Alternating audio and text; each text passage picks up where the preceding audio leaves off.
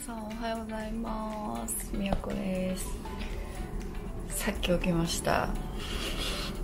まだベッドです。まだ風も来てます。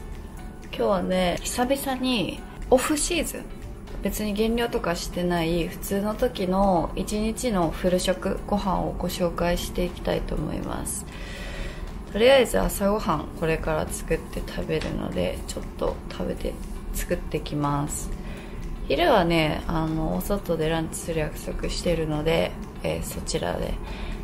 食べたいと思います。あのねメキシカンずっと食べたかったからメキシカン食べに行くと。ちょっと朝ごはん作ってきます。はいそしてじゃん。朝ごはんです。今日はねかなり手抜きです。卵白と卵白が 200g です。えっと、前も動画で、えー、紹介したことあるんですけど、冷凍卵白を私は朝は食べてて、フレンズファームさんっていうメーカーさんのものです。と、あと今日は、これね、欲しいもん。欲しいもん。なんで欲しいもかっていうと、マッスルグリルさんの馬肉のイベントがあって、そこに参加させていただいてたんですよ。そしたら、あの、なんかファンの方がお土産をくださって、その中にこの干し芋があって、めちゃくちゃ美味しかったんです。で、こんな感じで朝ごはんはだいたいタンパク質が 20g から 40g ぐらいと、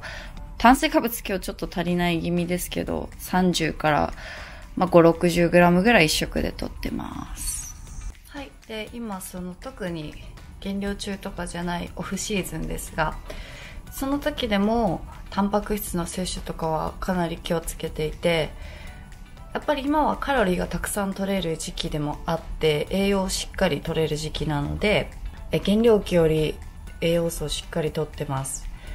でカロリーでは最近あんまり考えてないというかまあ必要最低限も取るんですけどその日の運動量とかトレーニング内容によっても摂取するカロリーを変えてて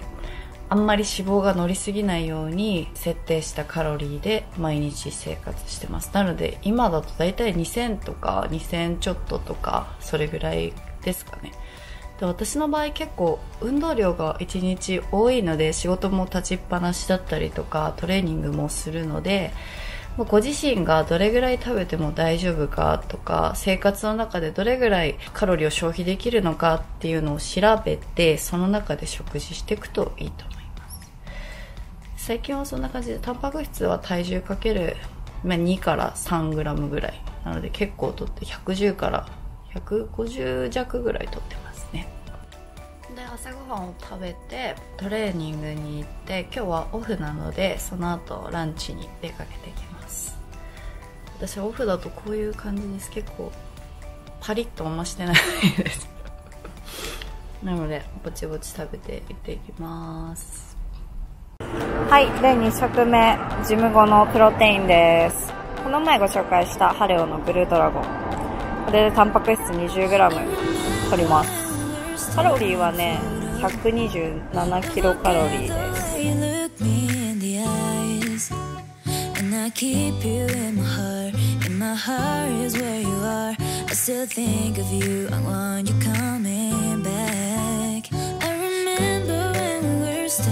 photo.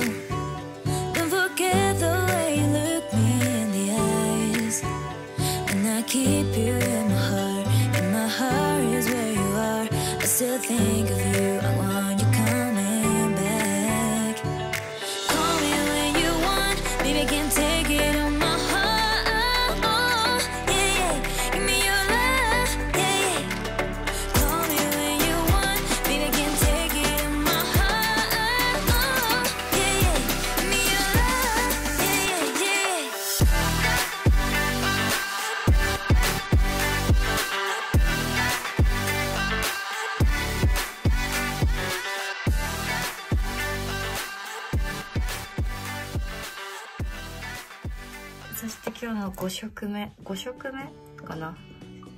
家さっき帰ってきてししゃも焼きました。お魚も結構食べますね。ししゃもはたまたま安かったので買いましたけどサバとかサーモンとかも食べます。あとブロッコリーとトマト。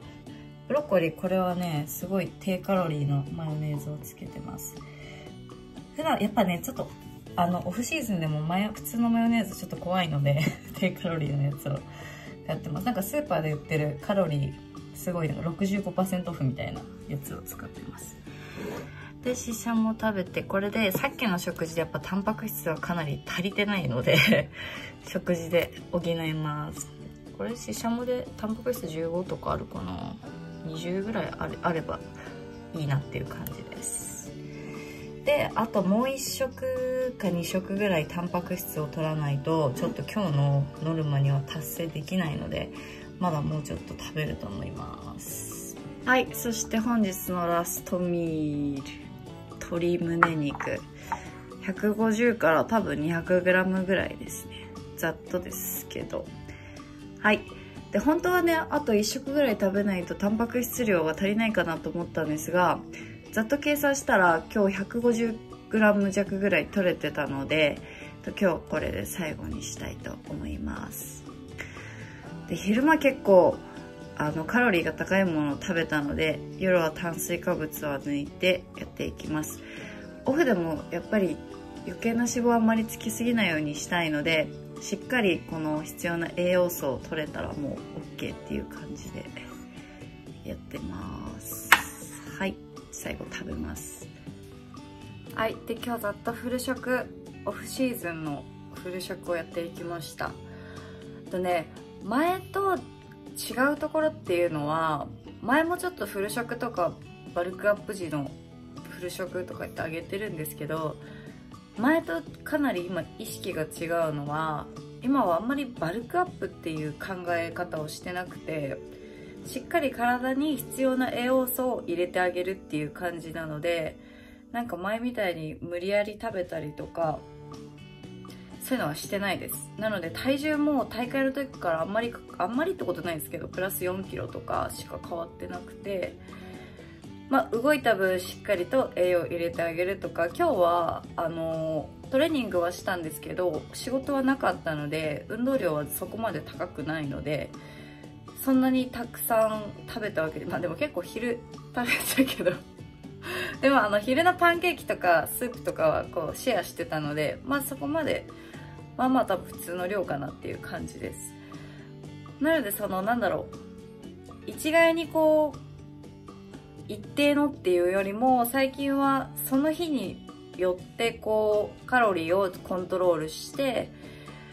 必要な時に必要な栄養素を入れるっていう感じにしてます。うん多分これが正解なんだと思います。多分ね今までが あのまあ、無知っていうのもあったのでとりあえず食べてるかっていうのはあったんですけどまあ今は本当にすごく体の調子もいいですしなんか前そんなバルクアップしてる時とかってすごい肌荒れたんですよ。なんかこう吹き出物っぽいのができちゃったりとかそれはそうそうずっとあの肝臓肝臓とか、まあ、内臓をこのずっと食べるっていうことは内臓に負担がすごくかかることなので内臓に負担かかってるとやっぱ肌とかは荒れやすいと思います。これ排泄機能とかも弱くなるし女性は特に結構、ね、私は肌にかなり出やすいんであんまりずっとこの食べ続けてるのは多分合わないし体調もその時は前はあんまり良くなかったのでいつもだるい感じとかすごい1回に量食べるんで血糖値がすごく上がるので食べてすぐ眠くなってみたいな。でまたすぐお腹空いてみたいな感じの繰り返しが結構以前は多かったです。ちょっと大人になったかな28歳になって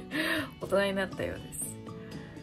でとりあえず今日はちょっと外食とかもしちゃったんで本当にこういう一日もあるし基本私はもう全部自炊なので仕事の日とかはもう全部お弁当持ってってます。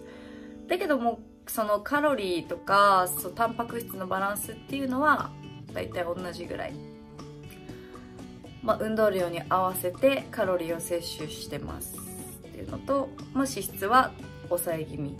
にして大体 40g から取ってもすごい多くても 50g ぐらいでまあタンパク質は体重かける2から 3g ぐらいで炭水化物は本当その日の運動量とかによってコントロールしてますっていう感じです。まあちょっとゆるりとやってきました、また今度はお弁当とかもあげようかな。そう、オフの時のフル食動画を見たいっていうリクエストがあったので撮りました。では、またトレーニング動画とかも配信していきますので、ぜひ見てください。またね。